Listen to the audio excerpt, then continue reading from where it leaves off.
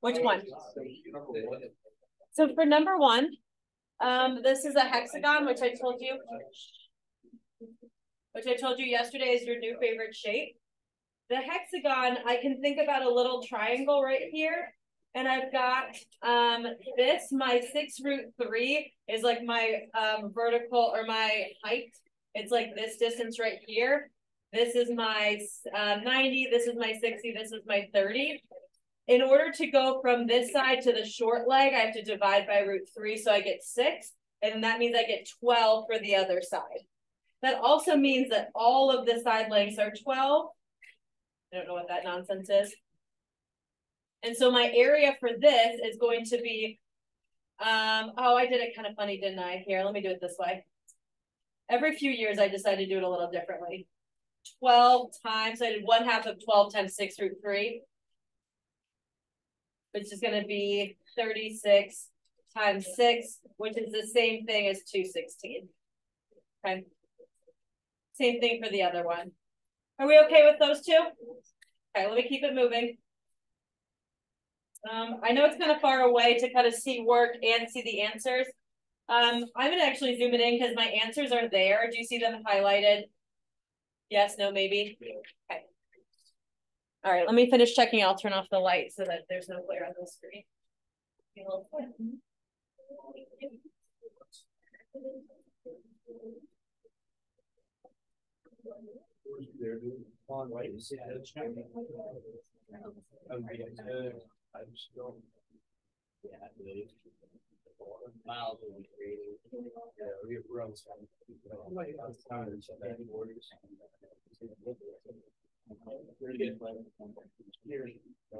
Lights off? No one's gonna lose their mind if the lights are off? Luke, you're not gonna lose your mind with the lights off, are you? No, I'm not. No, Patrick, you're gonna lose your mind with the lights on? You might just, okay. All right, what questions do we have on three and four? Yeah, Maddie. How do we know when to multiply by the side and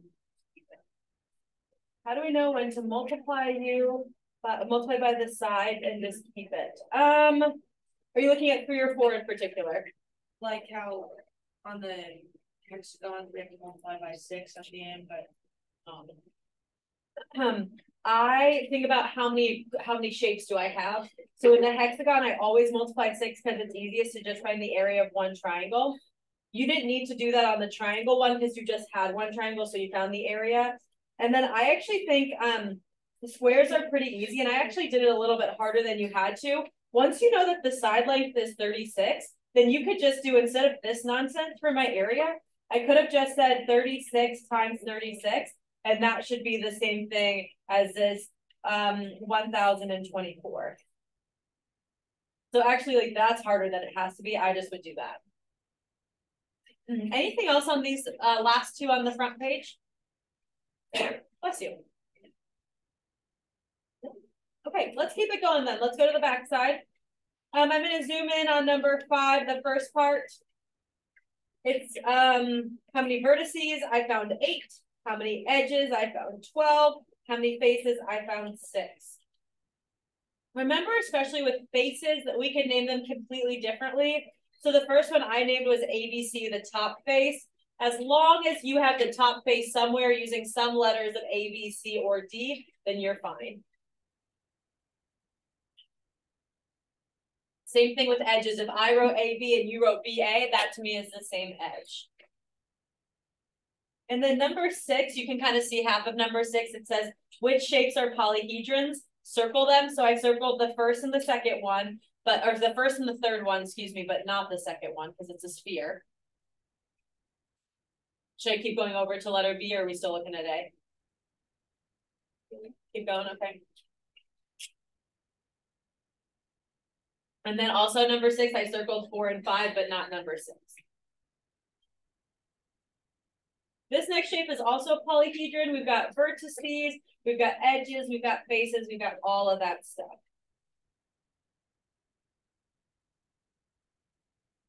Okay. What questions do we have right now? Anything? Feeling okay on that homework? Can you make sure your name is on it? Can you tear it off and can you pass it forward? And also, as you tear it out of your homework packet, can you look at your homework packet? The first side is what's gonna be due on Monday, that's the back side. The front side is gonna be what's due on Monday.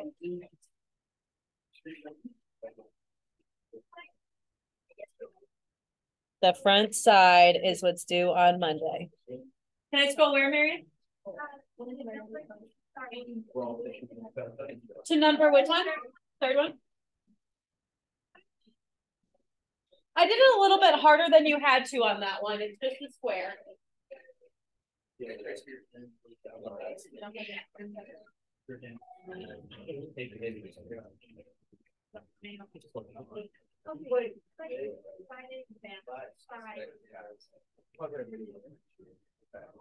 Once you pass them forward, pass them to the middle to Michael. I'm gonna get them from Michael.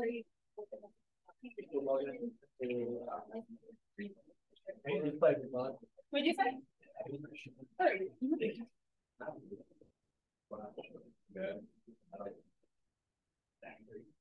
All right, homework is all with Michael. You guys, Michael, all your homeworks? Yeah. Perfect.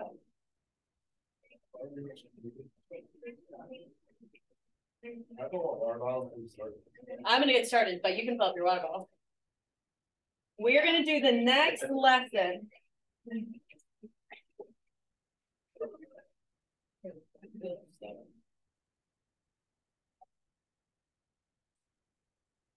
So at this part of the chapter, I combined eleven point two and eleven point four because they're similar concepts. One is about right, um, right prisms and one is about cylinders. What we're gonna learn on Monday is about columns and pyramids. So, a couple things to note here on why we're doing what we're doing and a few vocab words. First thing we're gonna talk about is the word prism. That's gonna be the shape that we're looking at here. A prism is a polyhedron, a 3D figure made of polygons, with two parallel faces, and those faces are what we call the bases.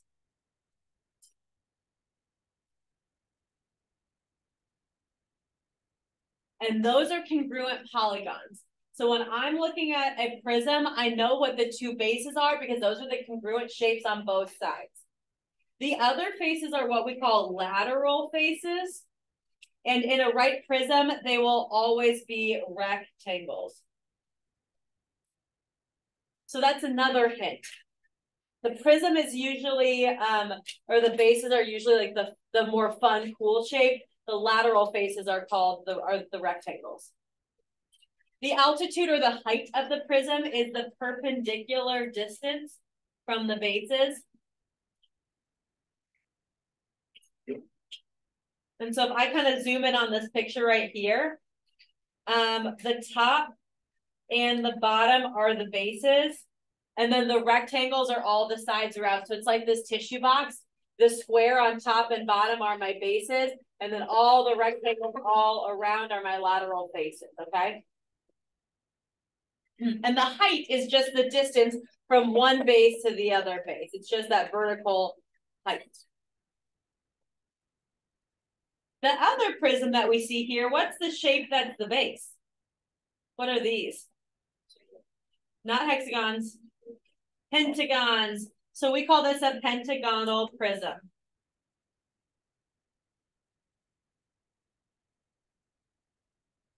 Because my bases are the pentagons. Everything else is just rectangles. Yeah, prisms are named by the shape of their bases. All right, now that being said, we're talking about right prisms. So everything that you assume is a right angle is a right angle. So everything that you think is 90 degrees, you can assume it's 90 degrees. Okay, so we're gonna look at this figure below and it says, what kind of figure is each base? What are these bases all? What shapes are these? Sorry, what? Hexagon, it's hexagon. Yeah, you guys had it. I don't know why we were panicking.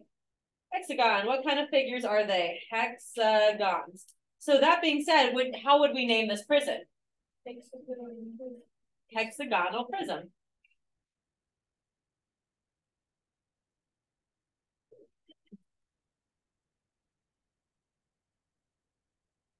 What kind of figure is each lateral face? What are these shapes right here?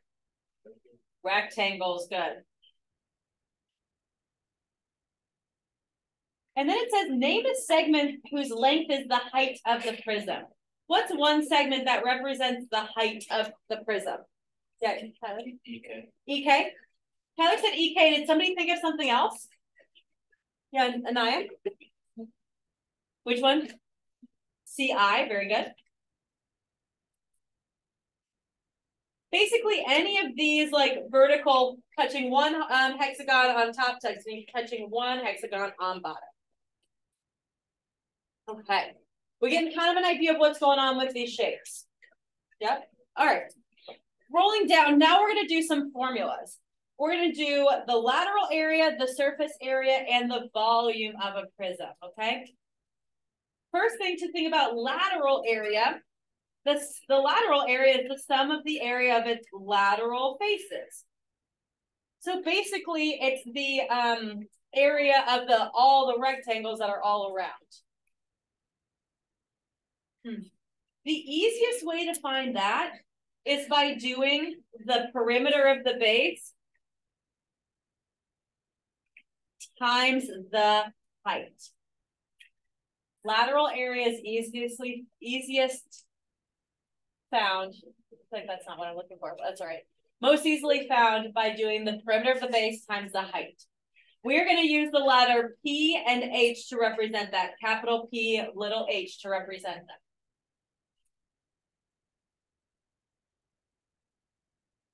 Okay. My surface area of a prism is if I were to like, if I were to, like to put wrapping paper around this entire tissue box, right? It's not just the lateral faces, it's also going to be the two bases. So the surface area is just the lateral area plus two times the area of one base. And remember on the step above, we found lateral area. And oftentimes I'll kind of walk you through it. I'll be like, all right, tell me what the perimeter is. Tell me what the height is. Tell me what the base is. Okay, now using that, find the lateral area. Now using that, find the surface area. And then last but not least is volume. We can think of volume as length times width times height. But in certain cases like this, I think it's a little bit area or easier to think of it as the area of the base times the height of the prism. And so in the letters that we're using here, we're going to say big B times H. I actually might put a little highlight around this box because I'll probably be coming back to it, referencing back. This might be an important box for me. All right, we doing okay so far? Let's keep it going. We're going to do an example with this. What are my bases in this picture? What shape are my bases? Not squares, not rectangles, triangles. Remember that the lateral faces are always rectangles, so the special shape is my base. So my bases in this shape are the triangles.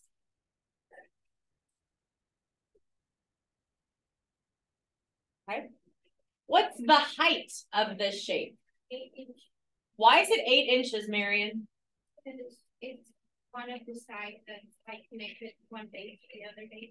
Good. Remember, height does not necessarily mean from from the ground to up in the air. It just means from base to base. And so from base to base here is eight inches. All right, let's do the perimeter of the base. So we're going to do the perimeter of this triangle. What's the perimeter of this triangle? What is it? 15. What are all the sides of the triangle? Six and six. And what's this one over here? Also six. Good. Because I know this is six, so that means that like its corresponding side is also six. So that means the perimeter of the base is going to be three times six or 18 inches. Probably make that a little bit bigger. Okay, we're going to use the P we're going to use the H, and then now we got to find a B because we're going to use that in a minute too. B means the area of the base. So we need to find the area of that triangle. Hmm, I wonder, maybe there was a reason we did all of those triangle areas yesterday, right? All of my sides are six, which means all of my angles are 60. And when we have a 60, 60 degree triangle, 60, 60, 60 degree triangle, we drop an altitude. And now it becomes a what? 30, 60, 30, 60, 90.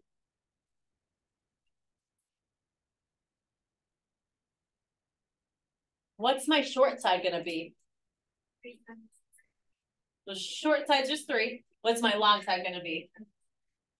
Three times the square root of three, and my long side is my height. So I'm gonna do one half times base times height.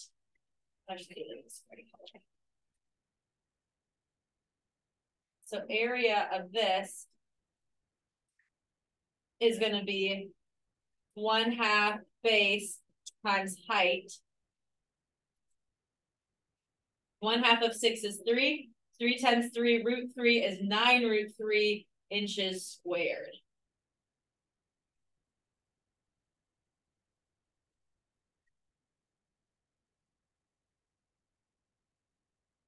We doing okay so far? Okay, now we're gonna use these numbers to find our LA, our SA, and our V, and we just did those up top. LA is going to be P times H. Okay, I'm gonna remind myself that. I'm gonna say LA is PH, okay. What was my P here? 18. What was my H? Eight. We're just gonna do 18 times eight.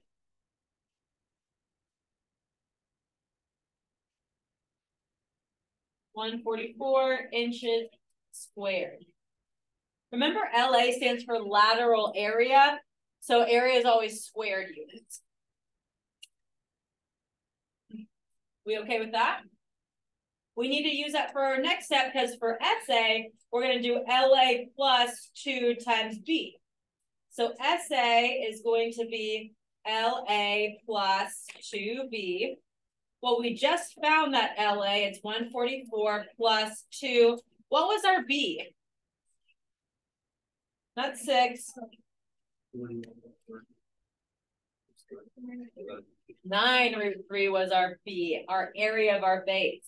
So we're gonna do one forty-four plus two times nine root three.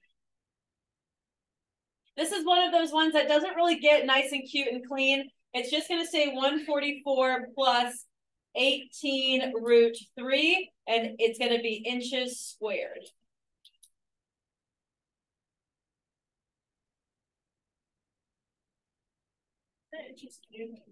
Not quite, not yet, but volume's gonna be inches cubed. LA is inches squared and then base is inches squared as well, so we're adding those two numbers together. But I like that you're a heads up because the next one is gonna be inches cubed. All right, and then the last one is B, or is uh, volume V, and volume is going to be B times H. We know that B is nine root three, and we know H is eight. So I'm gonna do um I'm gonna type say b times h first, just so I know what I'm doing. And I'm gonna do nine root three times h, which is eight. Remember, we can do nine times eight. Which is 72, 72 root three, and then now we're at inches cubed.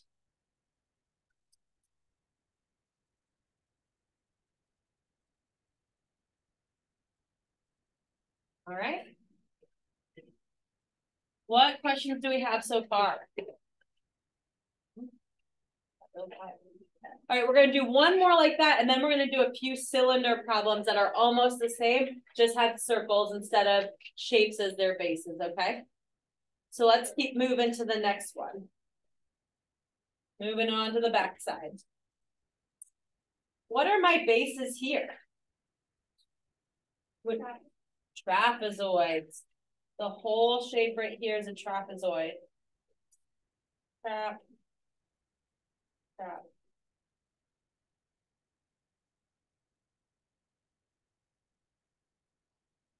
All right, what's my height?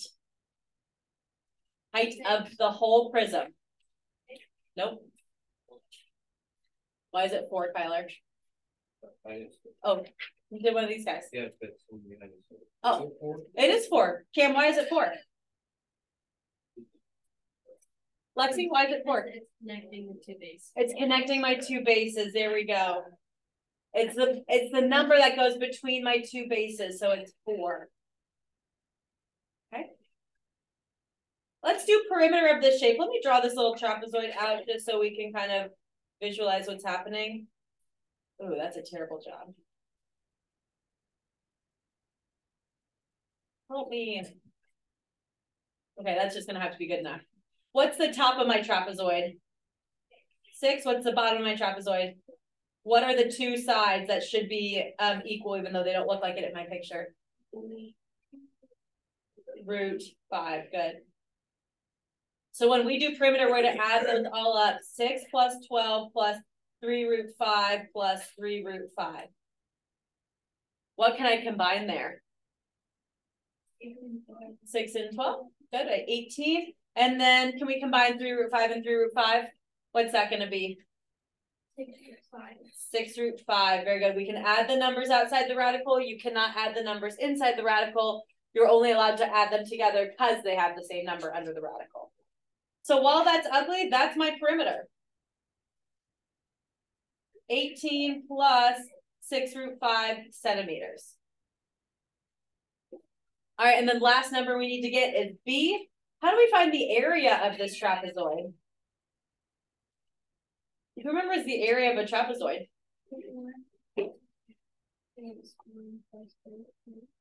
And then times height.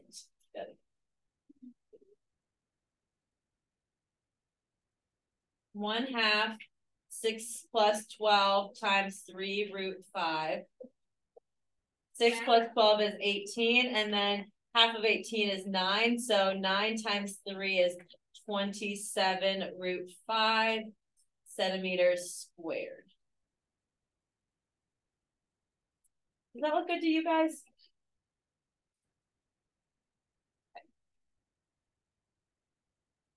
Do you think now that we've done height and perimeter and base, do you think you can do LA, SA, and B by yourself?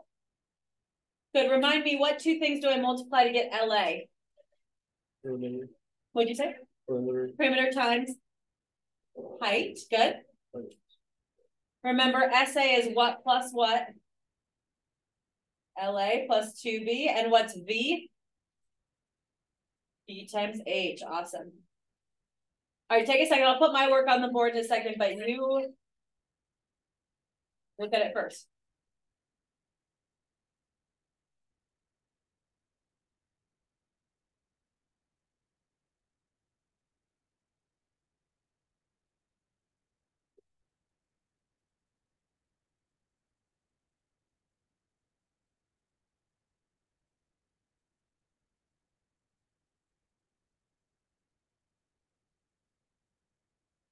Mm.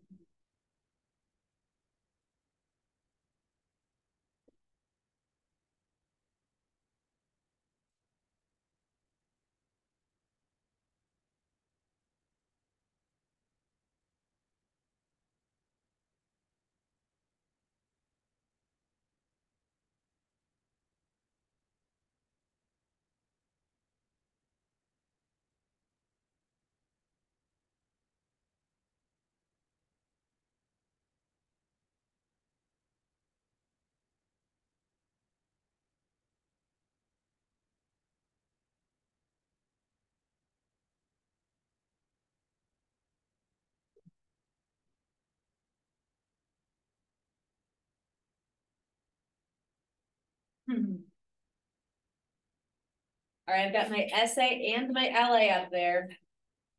And now I'm gonna do my V.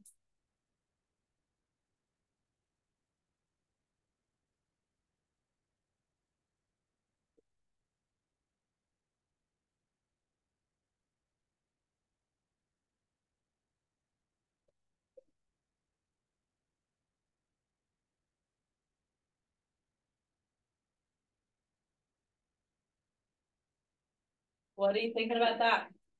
You guys feeling okay?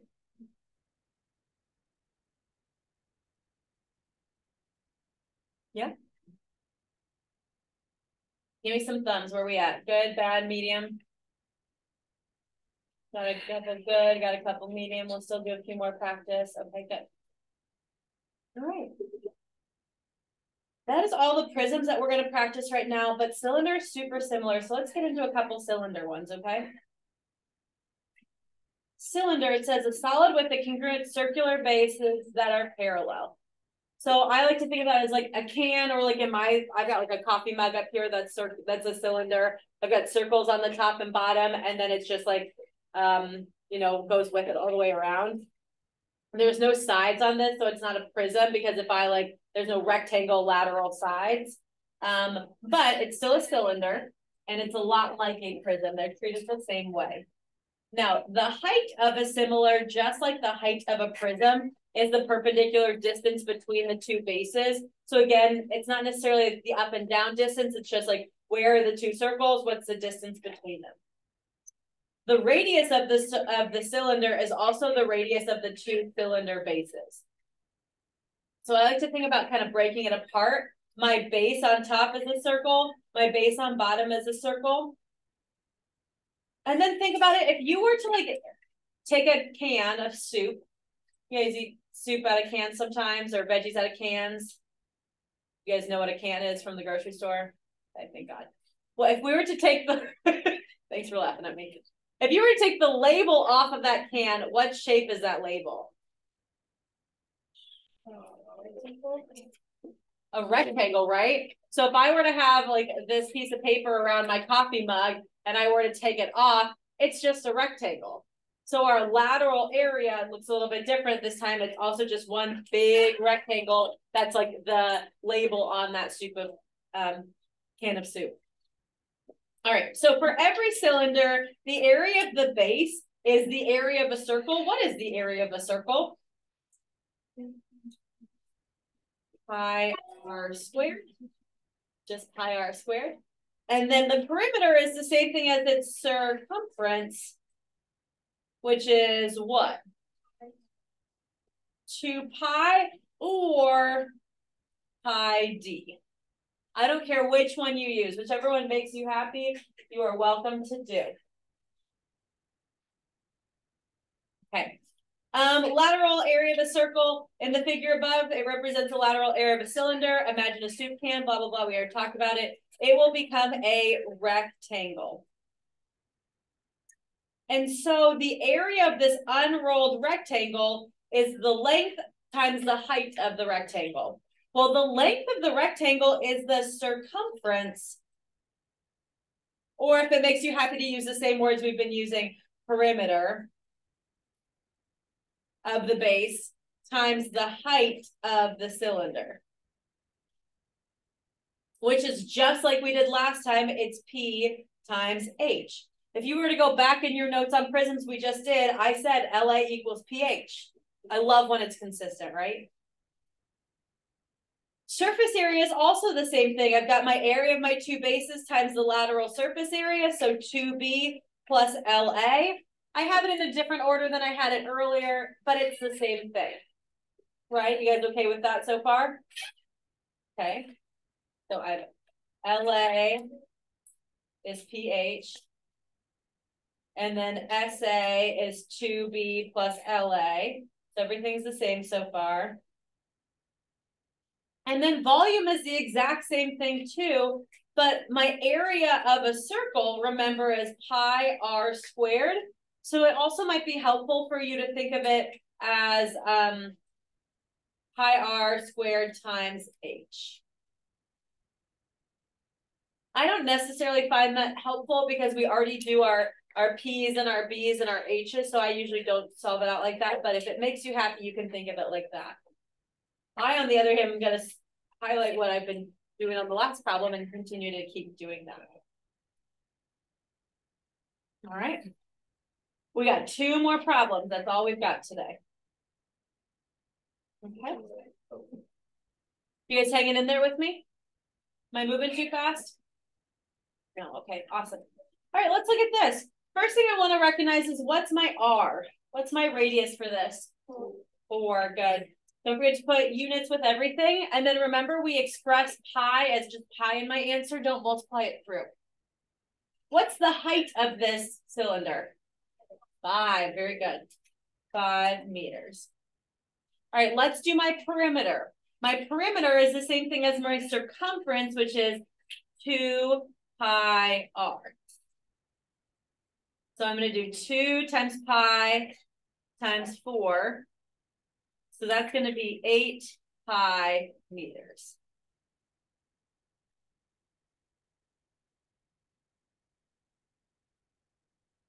All right, B is for the area of my base, the area of that circle, which is pi r squared.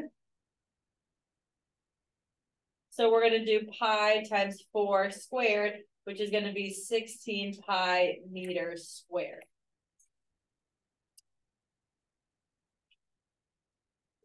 All right, I found those things because now I'm just gonna use them to plug in to find everything else. Are you guys okay so far? All right. LA, can you guys remember what remember what LA is? What times what gives you LA? P times H. P times H, good. So I'm gonna do eight pi times five.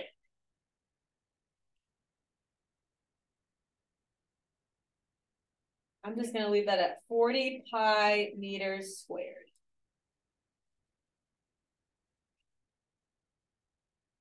All right, let's do SA. What do we do to get SA? Good, LA plus two B. We just found LA was forty pi, and now we're gonna do two times B, B was sixteen pi. So forty pi plus thirty-two pi is going to be seventy-two pi meters squared.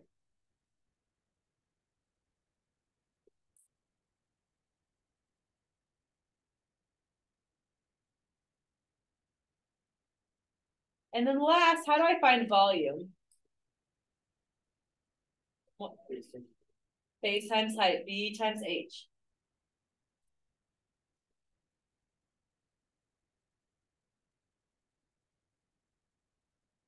So I'm gonna do five is my height times sixteen pi.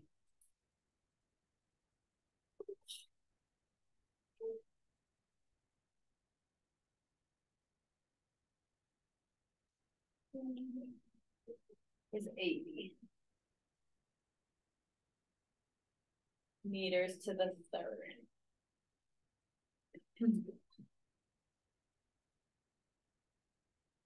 Right. I think you have enough power to try the next one without me. Do you guys agree? All right, go ahead and try it. I'm gonna start my work in a minute.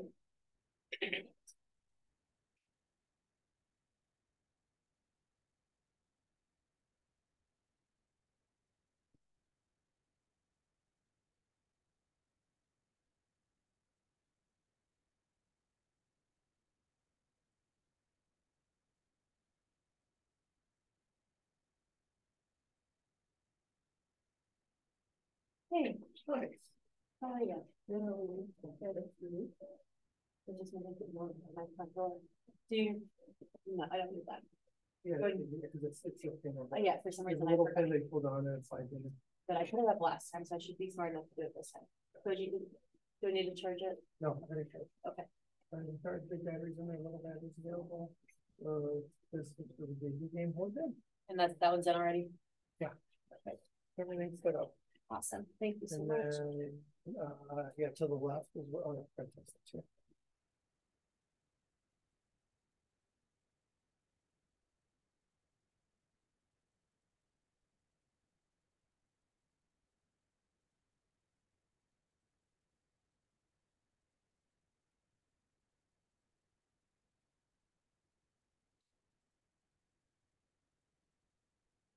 That was the way that, um, the more block it was.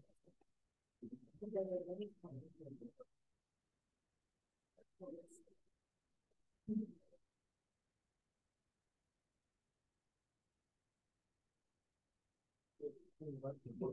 then everything is sort of like, get rid of those, that's forward and there.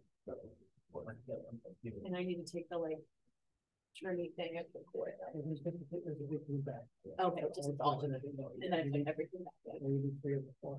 Guys, check your P, H, and B and make sure that those are right and then make sure that you plug in. Okay. But it's good to have this up just in case anything crazy. happens. Very true. So Okay. I've seen me drive. It's not really, Not very. but, uh, well, that, right, after the big one.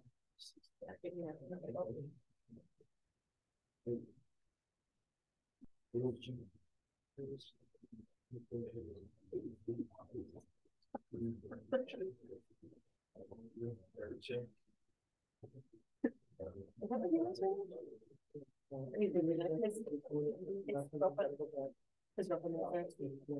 Beautiful place. I think we saw there, but. I did it well.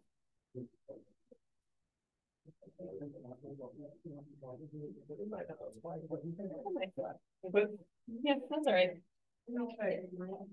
All right, see ya.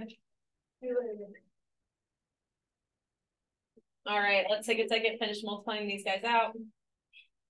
Twelve pi times fourteen.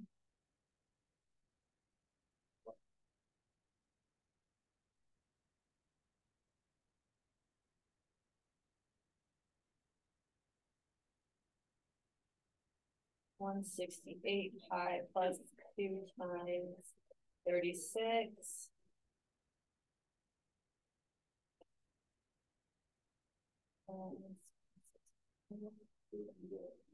Two forty-five centimeters square, is that what you guys got for that one? Yes, okay, and then the last one, B times H. And thirty-six pi times fourteen. Is five oh four pi what you guys got for that one?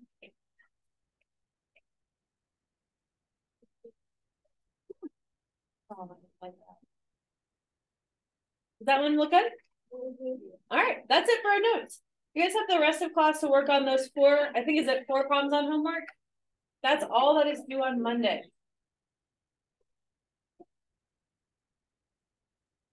Those of you watching, your homework's due on Monday too. Email me with questions.